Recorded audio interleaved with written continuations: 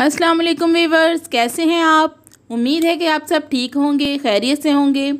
तो वीवर्स, आज हम बात करेंगे कुछ ऐसी पाकिस्तानी अवाम के बारे में, जो ख़ुद को बहुत ही लेजेंड समझते हैं।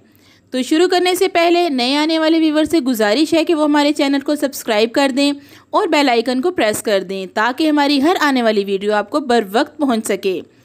दोस्तों, ये तो आप जानते हैं कि अक्सर लोगों को डॉग्स पालने का शौक़ है लेकिन अब से डॉग्स घरों की रखवाली कुछ इस तरह से करेंगे, ताकि आप ज़्यादा महफूज रह सकें। जी हाँ दोस्तों, अगर आप भी अपने घरों की प्रोटेक्शन को स्ट्रॉन्ग करना चाहते हैं तो अपने डॉग्स को स्पेशल ट्रेनिंग के लिए भेज सकते हैं, जो कि ना सिर्फ़ अब आपके डॉग्स को फुली ट्रेन करेंगे, बल्कि उनका निशाना भी पक्का करवाएँगे।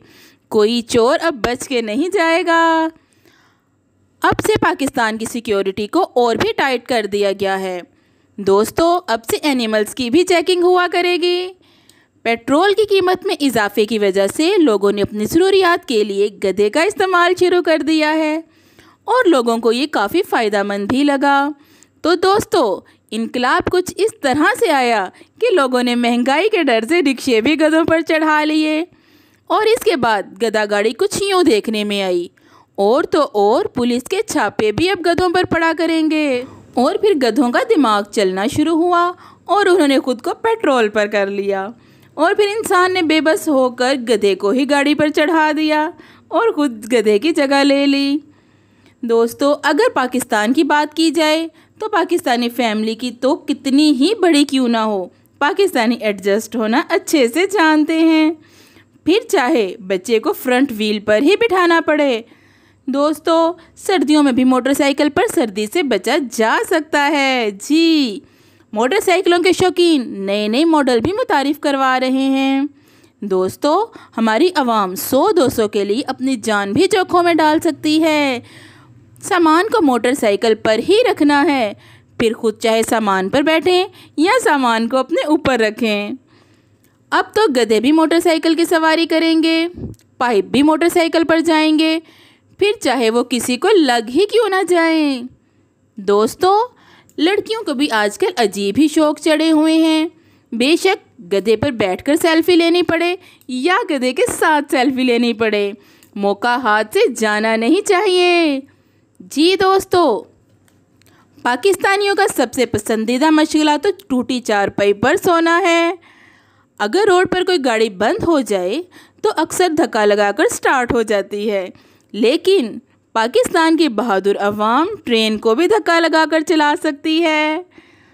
वीवर्स अगर ट्रेन की बात हो ही रही है तो ये देखिए पाकिस्तानी टाइटैनिक पाकिस्तानी अवाम ने अपना जुगाड़ कर ही लेना है। फिर चाहे मोटरसाइकिल पर पंखे की बात हो या गर्मी में फ्रीज़र में सोने की बात हो, और तो और सर्दियों में जुगाड़ करने के लिए पाकिस्तानी अवाम टॉप पर है। तो जी दोस्तों वो लोग जो अपनी रोज़ाना की स्टोरीज़ और स्टेटस के लिए परेशान हैं, अब उनको व्हाट्सएप और फेसबुक स्टोरीज स्टॉल्स पर मिला करेंगी।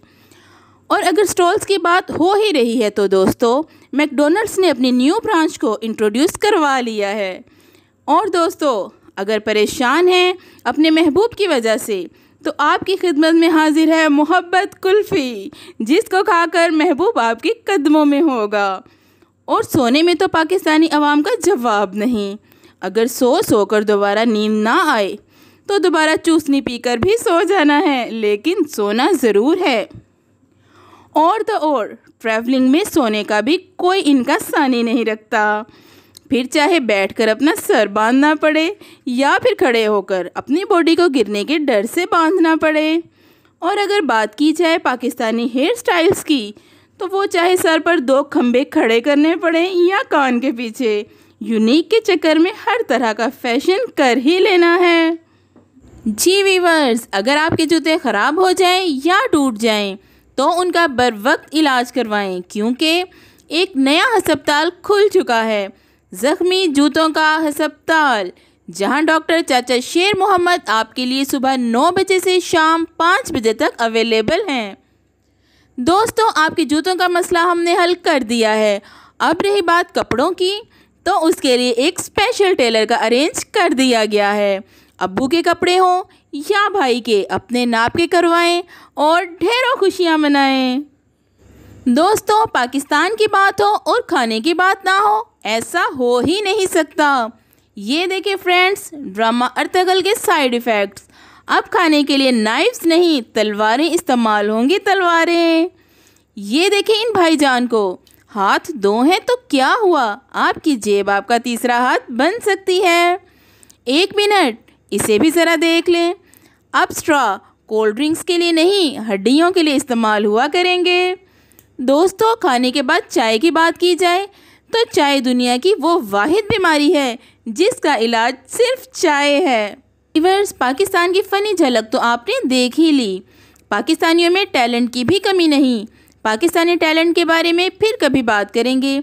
अब मुझे इजाज़त दें, खुश रहें, हँसते रहें और अपना बहुत सा ख्याल रखें। अल्लाह हाफिज़।